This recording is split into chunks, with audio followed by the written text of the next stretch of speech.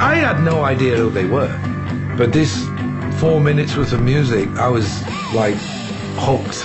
The queens of rock and roll, Fanny. Take care of yourself. This is your story. Fanny is iconic, truly before their time. Men coveted rock and roll, that that was theirs. This is a girl with an instrument on. So, okay, this is a game changer.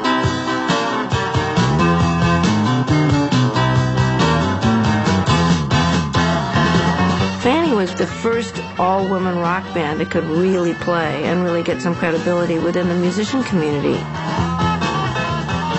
So we broke through that barrier, and it wasn't through talking. We just fucking did it.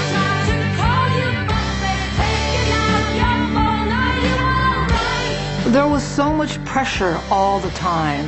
I mean, you have to remember how young we were and how scared we were, really.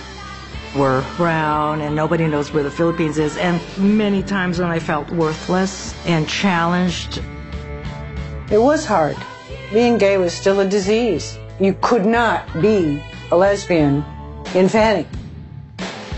They're like my sisters. I've known them since I was 16. Baby, rock band gave us a place to belong. We were all different together. You make me run. they made five records. You know, the Go Go's get a lot of attention for what we did, and we only made three records. They didn't have that number one hit in the platinum records that the other bands had. But those other bands wouldn't have had those platinum records if Fanny didn't open the door. It's always the ones that started that get fucked. Let's go back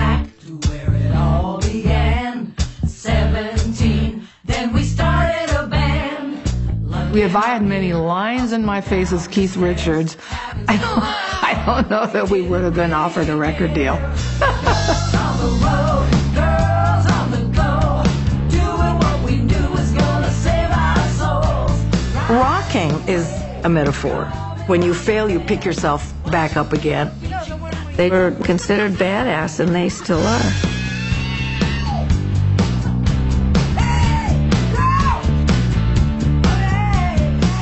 My big joke with my friends now, maybe I'll be famous when I'm 80.